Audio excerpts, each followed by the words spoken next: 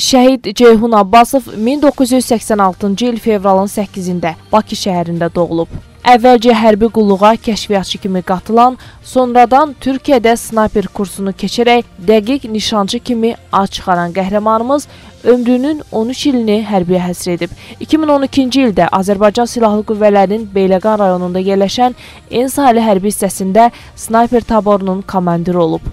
Daha sonra 2016-cı ildə aprel döyüşlərində vuruşub. Döyüşlər zamanı fərqləndiyinə görə Prezident İlham Əliyevin 19 aprel 2016-cı il tarixli sərəncamına əsasən hərbi xidmətlərə görə medalı ilə təltif edilib. Daha sonra 2020-ci ildə baş verən Tovuz döyüşlərində iştirak edir. Gizir Ceyhun Abbasov 2020-ci il sentyabrın 27-sində əzəli torpaqlarımızın işğaldan azad edilməsi üçün başlanan Vətən müharibəsi zamanı Murov dağ istiqamətində gedən döyüşlərdə ön cəbhədə olub. Sentyabrın 28-də Murov dağ döyüşləri zamanı şəhid olub.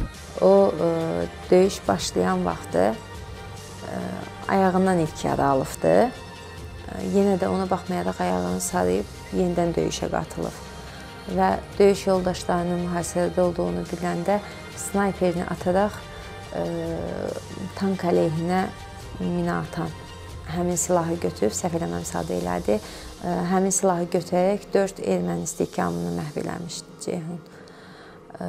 Buna baxmayaraq Ceyhun yenə də həmin orada yara alıbdı, böyrəyinin üstdən yara alıb, amma yarasını sarıyaraq ə, geri qayıt desələr belə qayıtmayıbdı igidlik göstərərək, qəhrəmanlıq göstərərək yenidən qabağa gedib.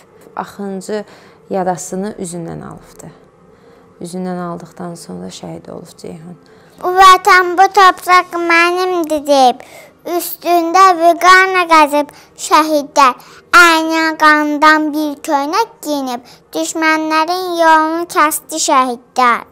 Qeyd edək ki, Ceyhun Abbasov Azərbaycanın ərazi bütövlüyünün təmin edilməsi uğrunda hərbi hissə qarşısında qoyulmuş tapşırıqların icrası zamanı vəzifə borcunu şərəflə yerinə yetirdiyi üçün Prezident İlham Əliyevin sərəncamına əsasən ölümündən sonra Vətən uğrunda medalı ilə təltif edilib.